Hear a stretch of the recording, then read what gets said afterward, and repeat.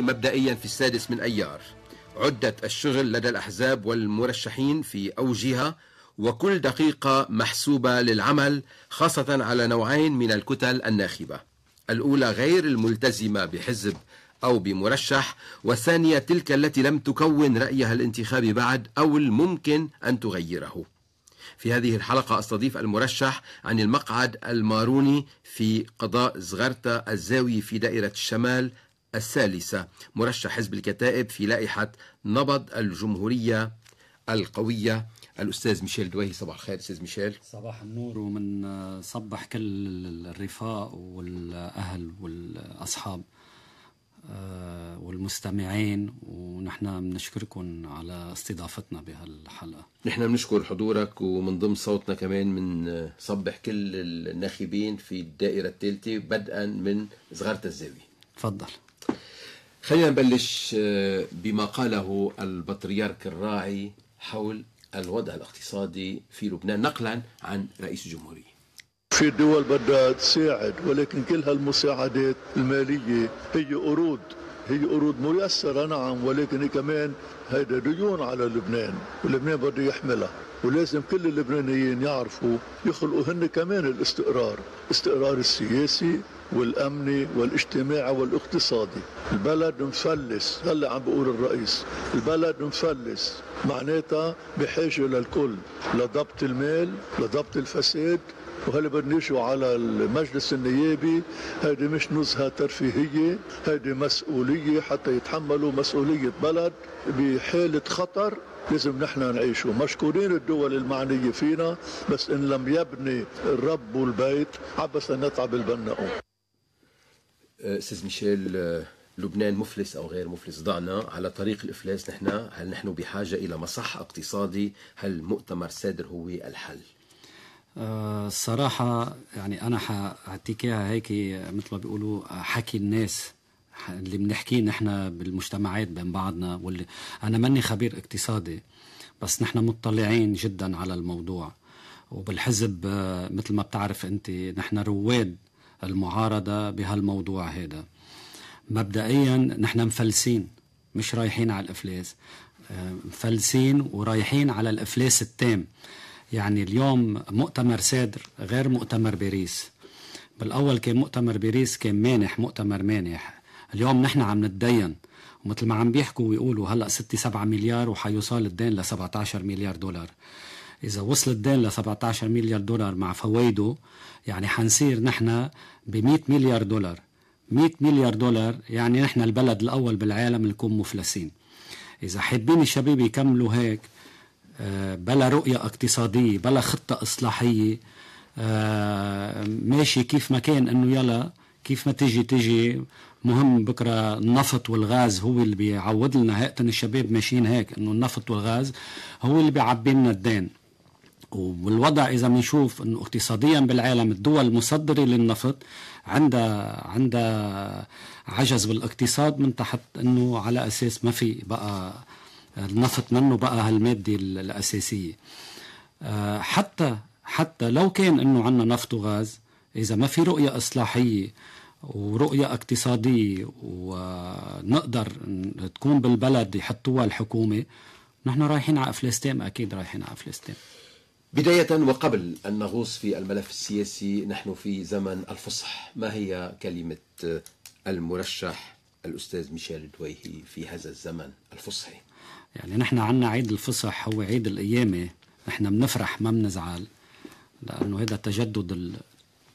تجدد الإنسان آه، نحن بنعيد خصوصا المسيحية وبنعيد اللبنانية جميعا بهالعيد وبنتمنى بنتمنى إنه الله ينور عقول المسؤولين عنا بلبنان حتى بس إنه يهدوا الوضع خاصة اقتصاديا. رح نسمع نحن وياك بعض من رسالة الفصح التي يتلوها في هذه الأثناء البطريرك بشارة الراعي قوامها نشر كلمة الإنجيل وتعليم الك... وتعليم الكنيسة وتوزيع نعم الأسرار لتقديس النفوس وتكوين الجماعة المؤمنة برباط الروح القدس روح الحقيقة والمحبة بهدف تحقيق السر الفصحي في المؤمنين والمؤمنات. فيتحرروا من خطاياهم بنعمة الفداء ويعبروا إلى الحياة الجديدة بنعمة القيامة وينعموا بالبنوة لله بالمسيح الابن الوحيد. الكلمة الكاملة أو الرسالة الكاملة لصاحب الغبطة نستمع إليها بعد إتمام هذه الحلقة يعني بعد موجز العاشرة والربع. أستاذ ميشيل في السياسة آه، نحن في دائرة أساسية الدائرة الثالثة بذكر المستمعين الدائرة الثالثة في الشمال تضم أقضية صغارة الزاوية وحضرتك. مرشح عن المقعد الماروني نعم. في صغارة الزاوية في ثلاث مقاعد موارنة أستاذ ميشيل دويهي وبشري مقعدين للموارنة أيضا. الكورة ثلاث مقاعد روم والبترون. مقعدان للموارنة نحن في دائرة سميت بدائرة صراع الديوك الرئاسية صحيح. إلى أي مدى فعلا هذه الدائرة؟ يعني دائرة إثبات وجود وحضور. هلا هي آه، صراع الديوك الرئاسية منا منا غريبة القصة عن الدائرة لأنه نحن أصلا كان عندنا بهيدي الدائرة رئيسين للجمهورية. من صغرتها من صغرتها كمان بالأساس. آه ودائما كانت صراع على الزعامة بالشمال. كانت دائما تضل وكانت تضل إنه صغرتها بالأساس هي اللي مسيطرة على هالوضع هذا. هلأ بالنتيجة اليوم بتغيير القوى آه وب يعني تعدد الأحزاب بين التيار الوطني حر والقوات اللبنانية والمردة وحزب الكتائب وكله. أكيد حي حيقوى الصراع على على على الزعامة أكثر مش على الرئاسة لأنه هو صراع الأرض زعامة الأرض اللي بيكمش الأرض بيعتبر إنه هو كامش بالسياسة بيكون فارض وجوده أكثر بس آه، إن شاء الله هذا الصراع ما ياخذنا لمحل تاني. إن شاء الله هذا الصراع ما ياخذنا لمحل تاني. اول من دخل إلى صغرتا صغرتا عم نحكي التكوين العائلي كحزب هو حزب الكتائب إيه. اللبنانية. هلا حزب الكتائب أصلا أول حزب بلبنان دخل على صغرتا آه، من زمان حزب الكتائب من 41 دخل على صغرتا وقت اللي طلع الشيخ بيير جميل عمل احتفال وعمل آه، عملوا خلوة عملوها بإهدن مع مهرجان. آه، عنا أرشيفه إذا بتشوفوا بتقول اليوم ما بيصير. وحزب الكتائب ضل مستمر بهالموضوع حتى تقريبا لحرب ال 75 آه، كان بعز قوته المسيحية في كتير انتسابات كان بصغرتا وكان وضعه بصغرتا هو أول حزب كان عنده انتسابات خاصة بقضاء صغرتا وبالشمال كله بالأساس. وبتعرف بسبب الأحداث اللي صارت والتهجير والوجود السوري تغير الوضع. وطلعنا برات اللعبة لأنه صار التهجير أثر على على سياسة الحزب. آه لهالسبب نحن صار عنا شوية آه ضعف بهالموضوع. بس نشكر الله رجعنا بعد الخروج السوري من لبنان. رجعنا رجعنا على كورونا ورجعنا اشتغلنا مزبوط آه، على الحضور. ورجع حضورنا موجود. ولأنه عندنا أساس كان صار عندنا ترشيح بصغرتها أستاذ ميشيل دويهي طبعا آه، لا تزال العائلية والبعد العائلي هو يعني أكثر حضورا في صغرتا الزاوية. إلى أي مدى يمكن آه، بحالة مثل حالتك أن تزاوج بين التمثيل الحزبي وبين التمثيل العائلي؟ هلا هي هيدي بالأساس كانت مشكلة. وهيدي على أساسها صارت المشاكل عنا بصغرتها بين الأحزاب والعائلات بفترة 78 وغيره. بس بالنتيجة العقلية تغيرت والسياسة تغيرت حتى بلبنان. آه، طبيعي طبيعي آه، أصلا هالأحزاب من وين مكونة؟ مكونة من هالعائلات مكونة من أبناء هالعائلات.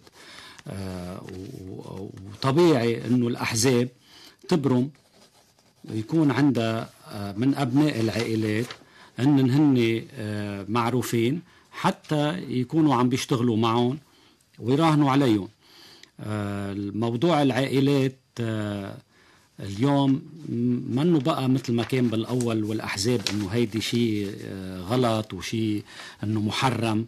لا بالعكس اليوم بوجود يعني هالشيء اللي عم بيصير مع الشباب والصبايا تغير الموضوع نهائيا. وما عادت هال هال هالمرض هذا يعتبروه بالأول. هلأ أكيد أكيد في تنافس وفي صراع لأنه هيدي عائلات عمرها عمرها مئات السنين مرسخة زعاماتها وأكيد ما حدا بيحب التاني يجي ياخذ مثل ما بيقولوا محله. بس ما حدا عم بياخذ محل ما حدا. هذا تنافس ديمقراطي وبنتمنى يضل تنافس ديمقراطي واللي بيربح صحتين على طبعا باللائحة لائحة نبض الجمهورية القوية فيها ثلاث كتائبيين. مرشح عن صغيرة الزاوية اللي هو حضرتك أستاذ ميشيل دويهي. مرشح عن الكورة اللي هو ألبير إندراوس. ومرشح البترون هو النائب سامر سعدي. إلى أي مدى هذه التركيبة تخدم أولا اللائحة وثانيا تخدم يعني الحاصل الانتخابي وتخدم أيضا يعني حظوظ الفوز كمرشحين لحزب الكتائب. هلا مثل ما بنعرف تركيب اللوائح يعني كلنا متابعين تركيب اللوائح. نحن بالأساس كنا يعني عم نطمح إنه نكون نحن ونركب لوائح بطريقة نحن والمستقلين وحركات المجتمع المدني بس بالنتيجة نتيجة المفاوضات اللي صارت لقينا والقوات حتى كمان كانوا بهالجو هذا لقينا إنه أفضل شيء نكون مع بعضنا لأنه هي الدائرة الدائرة بطبيعتها بطبيعتها السياسية والمتشابكين نحن مع بعضنا كلنا قواعدنا. بقى فضلنا إنه نركب تحالف نحن والقوات ومعنا حركه مست... معنا معنا معنا شباب مستقلين ومعنا اليسار الديمقراطي بذات الوقت. يعني الدكتور أيسر معوض. الدكتور أيسر معوض ك... كشخصية مستقلة ومعنا جورج منصور من اليسار الديمقراطي يعني يعني مشكله مشكلة ليحتنا. هلا بتقلي إنه بالنسبة لكيف عاملين حساباتنا عاملين حساباتنا بتعرف هذا بالأساس تنافس ديمقراطي. في الحاصل الحاصل كلنا متفقين عليه نجيبه وبدنا نجيبه لأنه بتحالفنا مع بعضنا هلأ نحن رفعنا الحاصل. وهيدي كنا اثنيننا بحاجة للبعض الكان القوات والكان نحن إنه تنرفع الحاصل. بالنسبة للصوت التفضيلي الصوت التفضيلي هيدي أكيد كل واحد بده يشتغل ويتنافس تيجيب صوت تفضيلي لإله. وبيرجع كمان. يعني, يعني خصمك بصغرته هو المرشح ماريو هلا هيدي هلا هيدي هذا القانون. سامر سعادي في البترول مرشح القوات فادي هلا هذا هو القانون اللي اللي فوت هالقصة ببعضها. هو اللي اخترع هالقانون فوت هالقصة ببعضها على أساس إنه خلى التنافس ضمن اللائحه هي أصلا إذا بترجع لصوت تفضيلي هو one man one vote هي اللي كان يطالب فيها حزب الكتائب الدائرة الفردية. الدائرة الفردية. بس خلطوها بطريقة عجيبة غريبة. وجبروا المرشحين يصيروا بهالوضع ومش وحدنا نحن بهاللايحة إنه نحن حننافس بعضنا. كل اللوائح بلبنان حتنافس بعضها. وهيدي المشاكل اللي عم تنتج. على كل حال نحن نحن عم نحاول نحن والحلفاء اللي معنا إنه نوصل لحد أدنى مشترك من اتفاق معين حتى نكون لأنه نحن بهمنا بالنتيجة نربح. نحن بهمنا نربح. الحاصل نربح بأكثر عدد ممكن من المقاعد. وهي والهم الثاني كل واحد بهم والهم الثاني كل واحد هو. قوته بهمه يكون إنه الصوت التفضيلي تبعه يكون عالي. نعود للاستماع إلى بعض ما يقوله البطريرك الراعي في سير رسالة عيد الفصح السنين ومن ديونه المتفاقمة وعجزه المتصاعد ومن الفساد المستشري في المؤسسات العامة والتهرب الضريبي ومن الزيادة في الإنفاق بهدر ومن دون حساب وكثرة التوظيفات من دون إنتاج وحالة الفقر والحرمان. الأمر الذي ينذر بوضع اقتصادي واجتماعي ومعيشي صعب يهدد باهتزاز الاستقرار الداخلي. إننا نتطلع بإيمان إلى الحي بين الأموات القادر على أن يقيمنا من واقعنا المقلق بقوته الفاعلة عبر الارادات الطيبة ومن خلال رجال دولة مدركين مسؤولين متجردين. ونأمل أن تأتينا الانتخابات النيابية المقبلة بمثل هؤلاء. بالرغم من المخاطر التي يسببها القانون الانتخابي الجديد على صعيد الديمقراطية والميثاقية اللبنانية والتعايش الوطني وحرية الترشح وحرية صوت الناخب المحاصر بخيار النافذين والبلوكات المذهبية والمالية والإعلامية.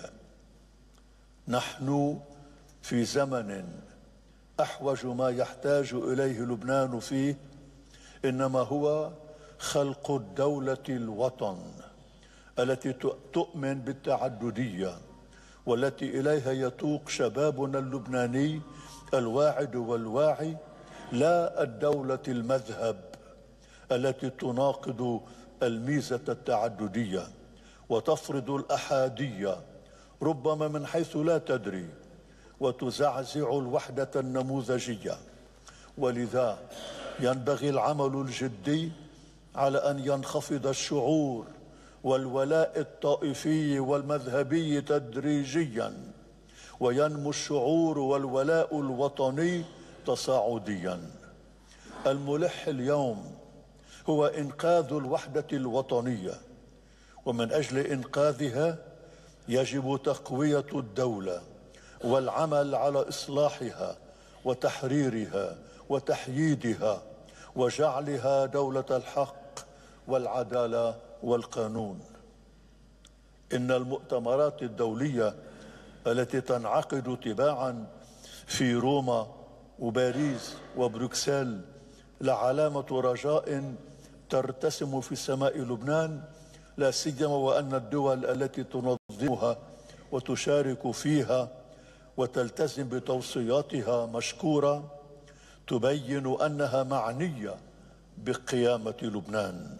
كي ينعم بالاستقرار الداخلي والازدهار الاقتصادي وبقواه المسلحة الدستورية وكي يتمكن من إنهاض شعبه اللبناني من فقره ومساعدة الإخوة النازحين إليه واللاجئين في حاجاتهم الأساسية وتجنيبهم الفقر المدقع وكي يعمل في الوقت عينه على توحيد الرؤية في مساعدتهم للرجوع إلى أوطانهم لا سيما وأن لبنان بات مرهقا. بالعبء الناتج اقتصاديا واجتماعيا وديموغرافيا. أستاذ ميشيل دويهي طبعا استمعنا إلى بعض ما ورد في رسالة الفصح لصاحب الغبطة طبعا بشقها السياسي بشقها الخاص ببناء الدولة تحدث عن ديون عن فساد عن هدر عن توظيفات سياسية وهذا ما حذر منه حذر من اهتزاز الاستقرار الداخلي؟ ماذا تقول؟ يعني غبطة بطرك عم بيحكي وجع الشعب واللي هو حزب الكتائب بشخص الرئيس والشيخ سامي والمكتب السياسي بالبيانات اللي بنعملها عم نحكي ذات الوجع وذات الخطاب. وهذا اللي نحن بدرنا فيه بالبلد. واللي حاربونا على أساسه كلهم واعتبروا إنه هذا شيء غريب إنه نحن عم نفضح شيء ما لازم نعمله. وحاربونا شعبويين. شعبويين وحاربونا كتير كتير بهالموضوع. السين لهلا عم بيحاربونا.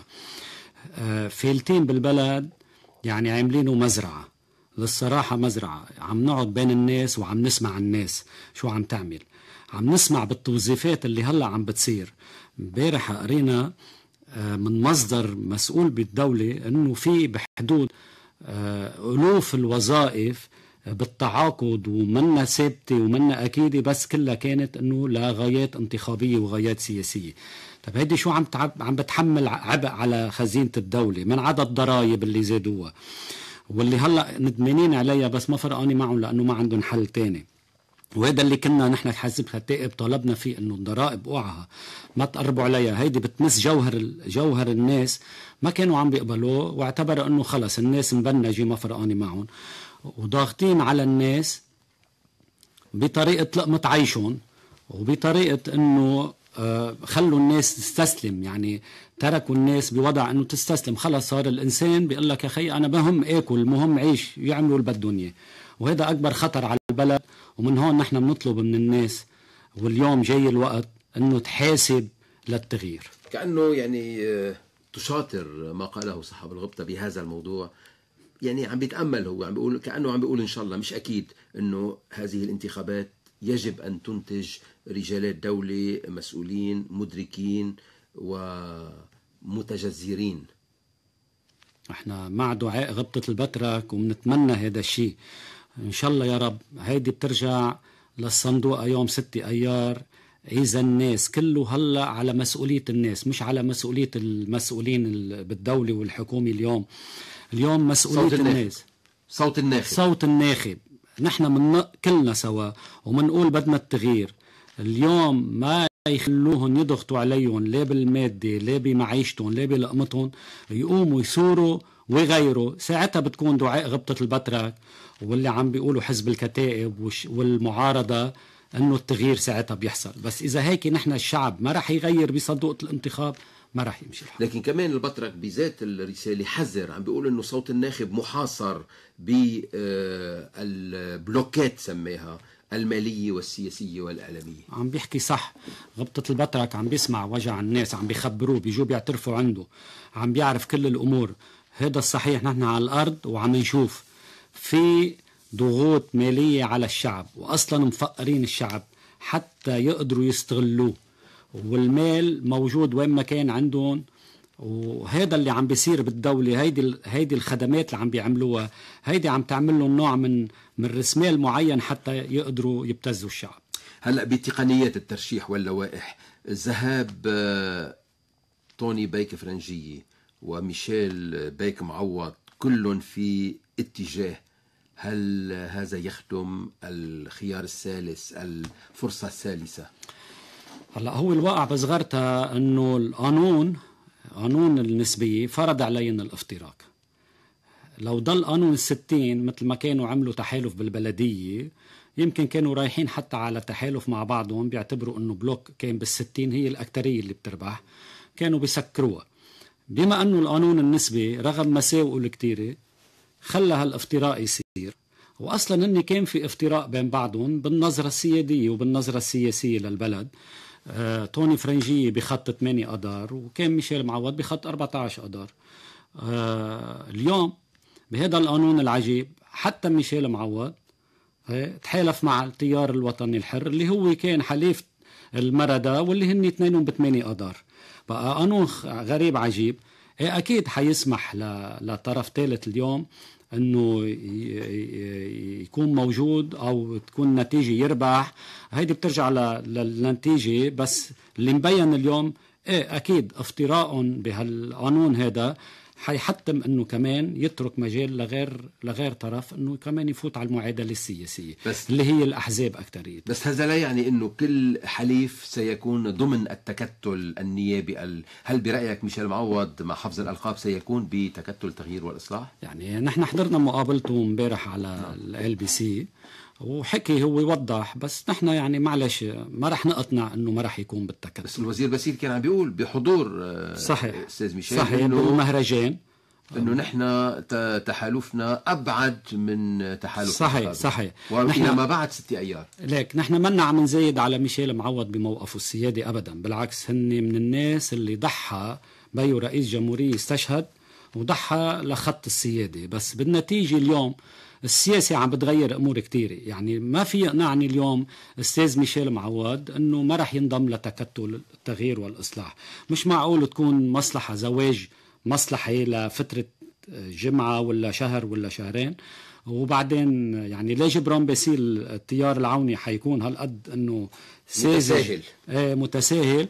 ولا حتى أنا برايي الأستاذ ميشيل المعوض مقتنع مع التيار الوطني الحر. مصلحته يكون مع التيار الوطني الحر لأنه هو لو كان مزبوط إنه منه مقتنع بموضوع التيار كان عنده خيار. إذا ما كان مع مع القوات اختلفوا وياهم بشيء كان بيقدر يكون مع الكتائب. لأنه أقرب شيء هو ذات الخط ذات التوجه ذات التوجه السيادي ضد الفساد. اثنينهم آه، كانوا بيقدروا يكونوا مع بعضهم وبيربح كان كمان. يعني لو ما اختلف جبران باسيل وسليمان فرنجي كان اليوم ميشيل معوض خارج تحالف التيار طبيعي طبيعي طبيعي. هيدي طبيعية هيدي بالسياسة طبيعية. أستاذ ميشيل دويهي ترشيحك في صغارة الزاوية. هل آه، يأخذ أو يأكل من صحن النائب ستفان دويهي تحديدا كون إنه ستفان دويهي وميشيل دويهي ينتميان إلى ذات العائلة؟ طبيعي. مش هيدي هي المقصودة. صحيح أنا من هالعائلة الكريمة وبشوف نفسي أنا بفتخر إني اكون من عائلة الدويهي عائلة أعطت قديسين وبطاركه وشهداء للوطن. وبفتخر إنه هيدي العائلة كانت على مدار تاريخها من وقت اللي انشئت لليوم هي ضمن الخط السيادي ودفاعا عن لبنان. كنت على علاقة جيدة مع ابونا سمعان خالي بيكون. و... ونحن كلنا أهل وقرايب. هلأ التنافس السياسي تنافس مشروع. صحيح أنا ابن عائلة وبفتخر إنه اكون بمثل عائلتي حتى بس بذات الوقت أنا بمثل حزب الكتائب ومرشح عن حزب الكتائب. ومش وحدي اللي مرشح بصغرتها. وهذا القانون مش بس إنه أنا عم نافس فين دويهي مباشرة لإله أنا عم نافس ثلاث مقاعد بصغرتها. آه لأنه القانون بيسمح لك هذا الموضوع. وهيدي انتخابات لازم تكون مثل ما بنتمناها ديمقراطية والنتيجة للصندوقه بست إيار الناخب هو اللي بيقرر إنه آه إنه إنه مين بيكون. وسبعة إيار بنهني الربحين وبنقول هارد لك للخسران طبعا نحن بدنا نذكر إنه هذه الدائرة مثل ما قلنا بتضم أقضية بشري البترون الكورة وزغرتا. الناخب المسيحي يشكل النسبة الأكبر في هذه الدائرة. آه تقريبا المسيحيين حوالي 221 ألف ناخب من أصل 246 صحيح. برأيك آه هذه النسبة آه يعني من نسبة المقترعين قياسا إلى عدد الناخبين قد متوقعينها يعني متوقعين آه، تزيد نسبة الاقتراع بهالدورة هيدي لأنه يعني عندك التسجيل الاغتراب اللي تسجل باغتراب هذا زاد بالأول كان الاغتراب يعتلهم يجي على لبنان بتعرف مصاريف. هلأ صار سمحوا له يقترع بالخارج. هيدي حتزيد من نسبة الاقتراع. وأنا برأيي الصراع مثل ما كنت وذكرت بسؤالك الأولاني صراع الديوك آه، حيحتم أنه زيادة الاقتراع هالمرة. حيحتم. ودخل كمان آه، على الخط أنه اليوم في جماعات المستقلين وحركات المجتمع المدني اللي هذا أنه كل العالم بدها تشارك وبنتأمل تشارك وتزيد الاقتراع حتى أنه يصير في تنافس صحيح. هو في يمكن أربع أو خمس لوائح في اليوم في خمس لوائح. آه أربع لوائح. أربع لوائح. أربع لوائح. برأيك اللائحة الرابعة هل ستبلغ الحاصل الانتخابي؟ بنتمنى آه بنتمنى بالعكس نحن بنتمنى انه اللائحة الرابعة المكونه حتى من من من شخصيات مستقلة من من الحركات المجتمع المدني. بنتمنى وبنشجعها وبنحمسها لأنه بالنتيجة هذا كله لصالح لصالح أنه التغيير بس يعني مثل ما مثل ما عم نشوف إنه الوضع صعب شوي. الوضع صعب شوي. في تكتلات كبيرة بالمنطقة. ولا ما كان الاتجاه التحالف مع هذه الشخصيات المستقلة أو من المجتمع المدني؟ طيب حنحكيها بكل صراحة. وأنا حأحكيها هيك بالدارج مثل ما بيقولوا مثل ما عم نحكي بالصالون. آه اللي بادر وأطلق المعارضة بلبنان هو حزب الكتائب وبشخص رئيسه الشيخ سامي جميل. ونحن اللي خلينا خطاب الرئيس جميل اللي خلى كل حركات المجتمع المدني اللي بتقول عن حالها حركات مجتمعية تنزل على المعارضة وتبين حالها. اللي حتى صار بعد أحزاب السلطة المشاركة حتى بعد أحزاب السلطة بعدين استلحقوا إنه على أساس يقدروا يفوتوا بالموجه الشعبية. بس أنا عم بوجه لحركات المجتمع المدني. بس مشكلتها حركات المجتمع المدني اللي انبسطت. في منا واعي وعارف حاله وين رايح والأكثرية منا كلهم يعني كلهم راحوا أخذوا مثل كأنه عم بيعملوا مثل الثورة الفرنسية. والثورة الفرنسية وقت اللي صارت وعملت هيدي كلهم يعني كلهم بنتذكر كلنا قارين التاريخ قديش ضلت كذا سنة إيه بلخبطة كبيرة قدرت رجعت ركزت الثورة الفرنسية ومشيت. نحن بلبنان الشبيبة آه، أخذوا الكل بجريرة بعضهم. وما بدهم يتعاملوا مع حزب الكتائب إنه لأنه كان بالسلطة.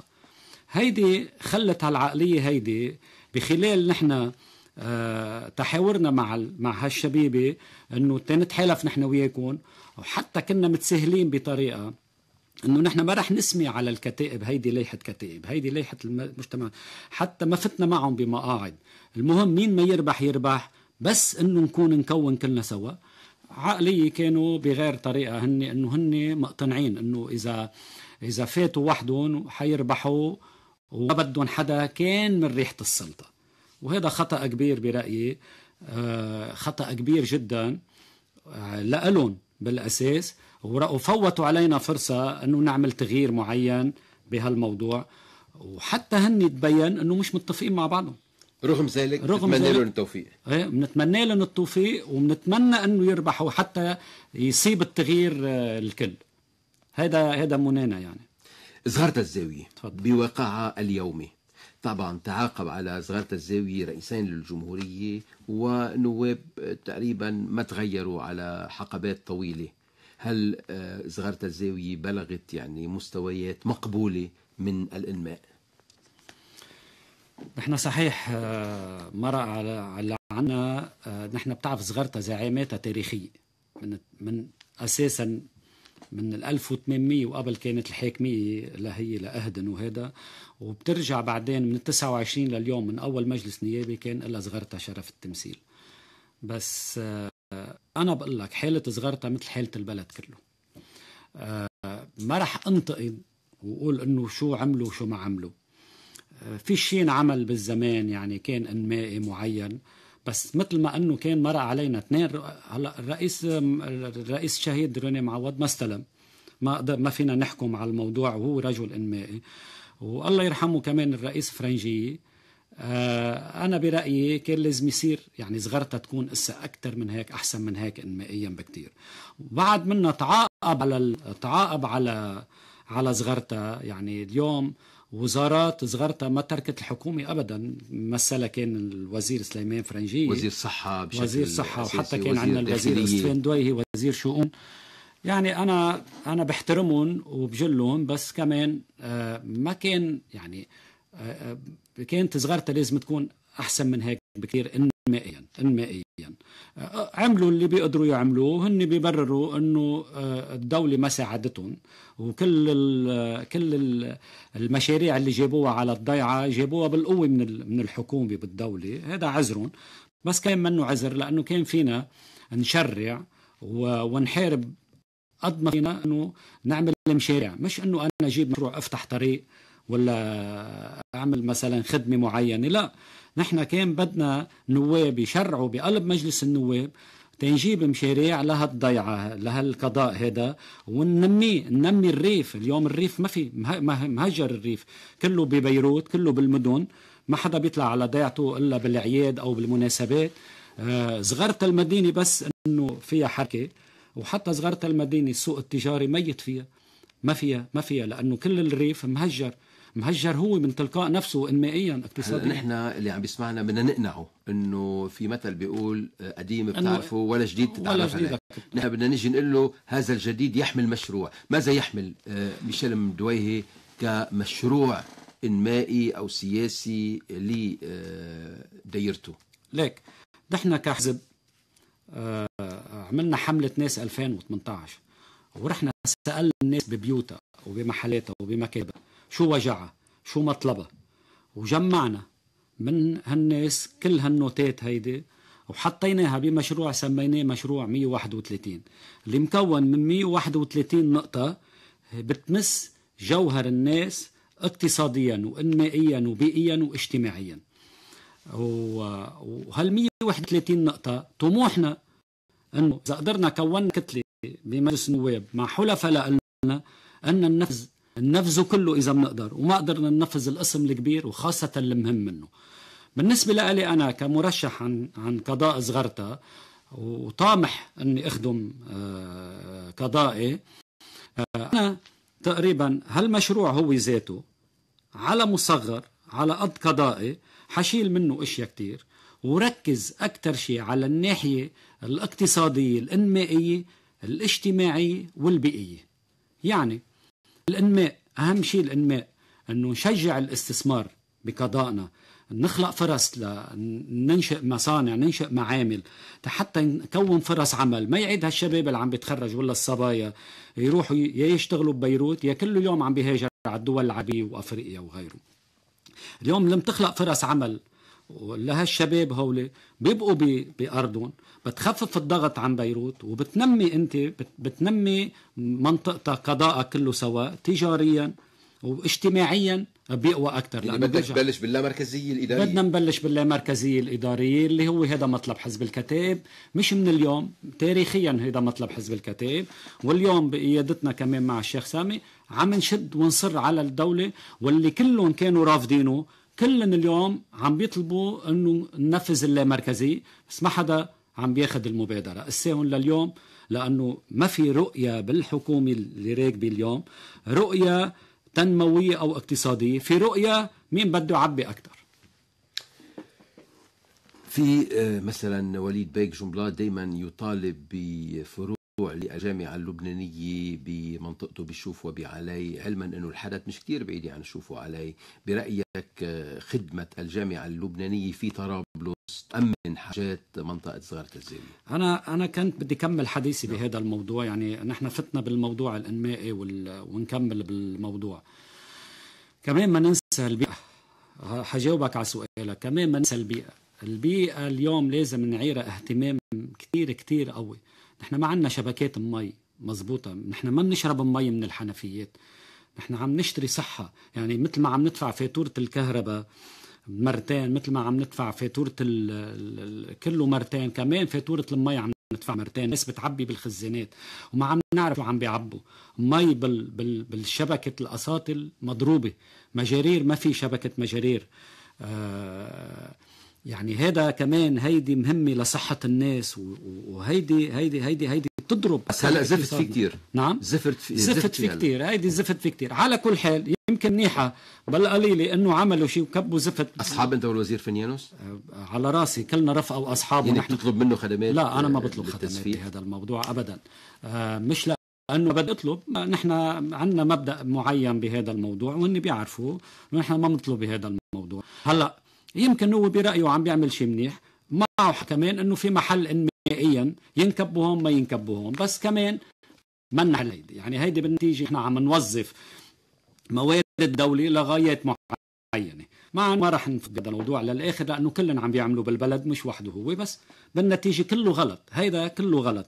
لأنه نحن عم نسخر موارد الدولة لغايات معينة. يمكن تكون منيحة محل بس في كثير شيء منيح ابدا. ثاني شيء سألتني أنت بالنسبة للجامعة اللبنانية. اليوم آه، قضاء ذاتها آه، عدد سكان كثير. يعني اليوم كل الشبيبة عم تنزل على الجامعة اللبنانية وهي الجامعة اللبنانية نحن لازم نقويها. وهيدي لازم تكون هي نفتخر فيها إنه نحن الجامعة اللبنانية عم تعلم لنا أولادنا بي بي يعني ببلاش. وبدنا ننبه شغلة إنه الجامعة اللبنانية خرجت كل كل كل المفكرين الكبار كله ثلاث ارباعهم من الجامعة اللبنانية. وهذا هذا هدفنا انه نقويها وندعمها أنا برأيي إيه لا بدنا نحن الجامعة اللبنانية يكون عندنا فرع بين القضاء بين الأقضية اللي هي اليوم الدائرة الثلاثة بشري الكورة البترون نظرتها. مثل ما البل... مثل ما جامعة الان دي يو موجودة مثل ما البلمن مثل ما جامعة القديس يوسف كلهم موجودين بهالنقطة هيدي لأنه بالنتيجة هيدي التواصل كله مع بعضه. كمان بنطالب بالجامعة اللبنانية تكون معهم بهالنقطة هيدي حتى نكمل نكمل هال هالسرح الثقافي هذا آه، تنقدر إنه نريح أولادنا بعلمهم وبثقافتهم. قبل ما أنهي مع أستاذ ميشيل دويهي بنداء موجه إلى آه، ناخبي الدائره الثالثة وتحديدا صغرتا الزاوية آه، خاصة بموضوع الصوت التفضيلي. أسئلة سريعة. هل ترشيحك أثر على العلاقة الشخصية العائلية مع المرشح ستفان دويهي مثلا؟ لا لا. هلأ أكيد هذا تنافس. التنافس تعرف ما حدا بيرضى إنه حدا ياخذ محل الثاني ولا هذا يخسر ولا هذا. هذا شيء طبيعي وهيدي الطبيعة البشرية. بس بالنتيجة لا نحن أهل ونحن أخوة ورفقة. آه هذا تنافس ديمقراطي. ومثل ما ذكرت سابقا آه ست أيار سبعة أيار بتطلع النتيجة اللي بيربح منهن واللي بيخسر بنقول له hard luck وبنرجع إخوة وبنشتغل كلنا لصالح البلد.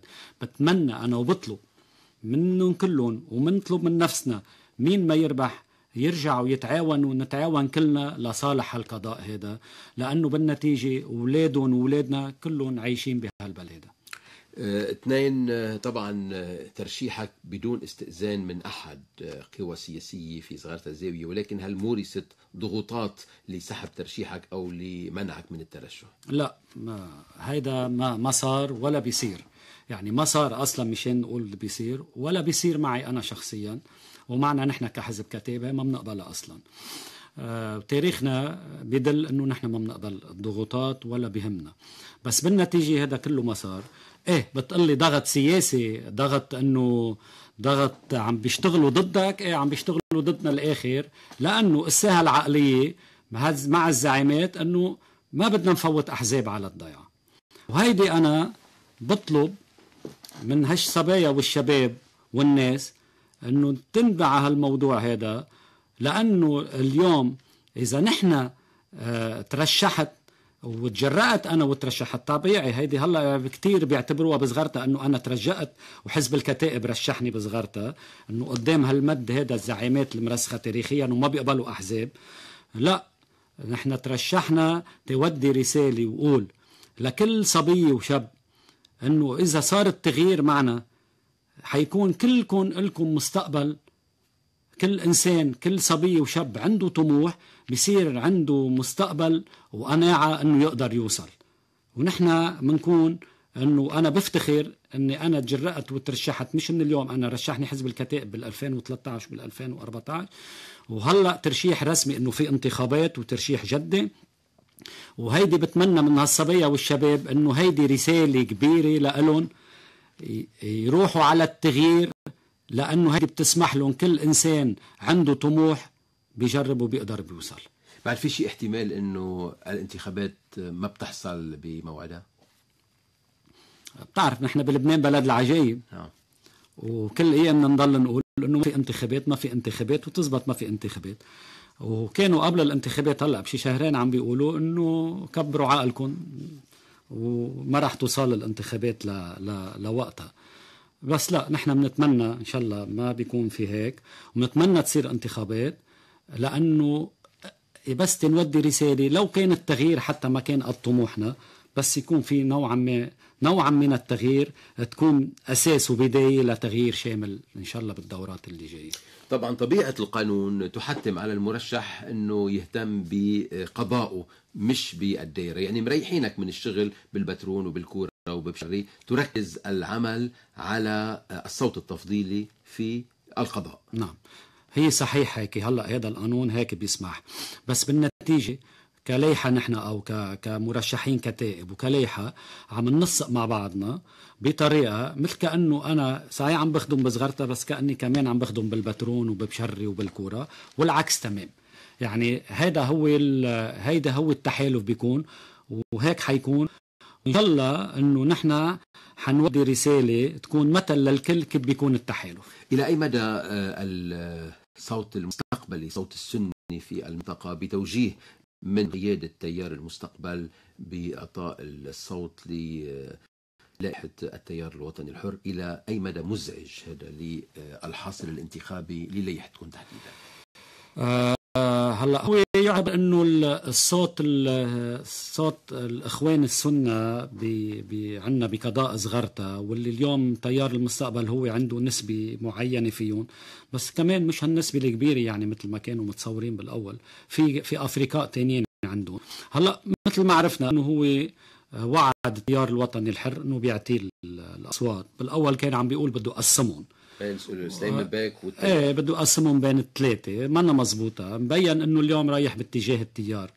آه على كل حال يعني تجير الناس منه بالأمر الهين؟ تجير هيك الناس وقناعة الناس إنك تبرمها من محل لمحل.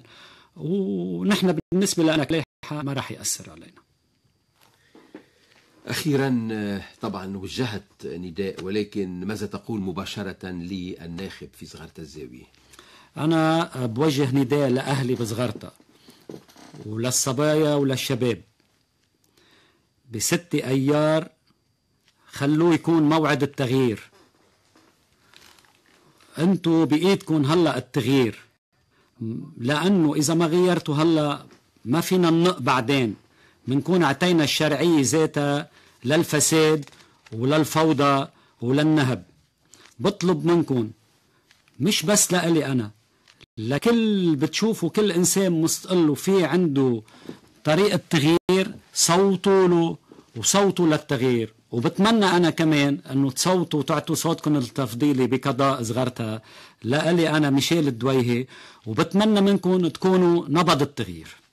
وأخيرا اللائحة ستعلن بشكل رسمي غدا في بشمزين آه بكرة عنا احتفال إعلان اللائحة رسميا. الساعة خمسة بالكورة ببشمزين بالكاونتري كلاب. عاملين احتفال آه، إعلان اللائحة وحيكون في كلمات للمرشحين كلهم.